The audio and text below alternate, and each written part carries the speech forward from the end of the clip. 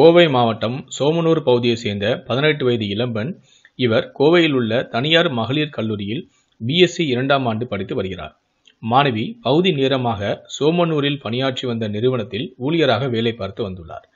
நேற்று மாணவி வழக்கம் போல வேலைக்கு சென்றார். ஆனால் நீண்ட நேரம் ஆகியும் மாணவி வீட்டுக்கு திரும்ப வரவில்லை. இதனால் சந்தேகமடைந்த மாணவியின் தந்தை எட்டு மணி அளவில் தனது மகளை தொடர்பு கொண்டார். அப்போது போன் எடுத்த மாணவி கிளம்பி விட்டதாகவும் விரைவில் வந்து விடுவதாகவும் கூறியுள்ளார். ஆனால் அதன் பின்னரும் மாணவியின் தந்தை தொடர்பு கொண்டார். அப்போது மாணவி போன் எடுக்கவில்லை. இதனால் சந்தேகமடைந்த மாணவியின் தந்தை தனது மகள் வேலை செய்யும் கடைக்கு சென்று பார்த்தார். அப்போது அந்த கடை பூட்டப்பட்டு இருந்தது பின்னர் தனது மகளை அக்கம்பக்கத்தில் தேடினார். ஆனால் எந்த பலனும் இல்லை. பின்னர் வீட்டுக்கு திரும்பினார். இரவு பத்து முப்பது மணியளவில் ஆட்டோ டிரைவர் ஒருவர் மாணவியை அவர்கள் வீட்டிற்கு அழைத்து வந்தார். அப்போது மாணவியின் உடைகள் கிழிந்து அவர் இரத்த காயத்தில் இருப்பதைக் கண்டு பெற்றோர்கள் அதிர்ச்சியடைந்தனர். இது குறித்து அவர் ஆட்டோ டிரைவரிடம் கேட்டனர்.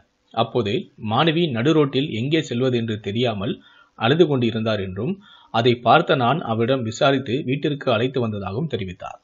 பின்னர் பெற்றோர் மாணவியிடம் என்ன நடந்தது என்று கேட்டார்கள். அப்போது மாணவி தான் வேலை பார்க்கும் பண பரிவர்த்தனை நிறுவனத்தின் உரிமையாளர் தன்னை காரில் அழைத்து சென்று வீட்டில் கொண்டு விடுவதாக கூறினார். அதனை உண்மை என நம்பிய நான் அவரது காரில் ஏறினேன். ஆனால் அவரோ என்னை அவரது வீட்டிற்கு அழைத்து சென்றார். அவரது வீட்டில் யாருமே இல்லை. இதனால் அவர் மீது எனக்கு சந்தேகம் ஏற்பட்டது. திடீரென அவர் என்னை அறைக்குள் அழைத்து சென்று அறைக்கதவை பூட்டினார். பின்னர் என்னை வலுக்கட்டாயமாக வற்புறுத்தி பாலியல் தொல்லையும் கொடுத்தார். அதிர்ச்சியடைந்த நான் அங்கிருந்து தப்பினேன். என்னை அவர் காரில் பின்தொடர்ந்து வந்தார். பயத்தில் ஓடிய நான் பள்ளத்தில் மறைவானத ம- மறைவதற்காக குதித்தபோது முட்புதலில் சிக்கிக் கொண்டேன். என்னை தேடி பார்த்து அவர் பின்னர் வீட்டு திரும்பிவிட்டார்.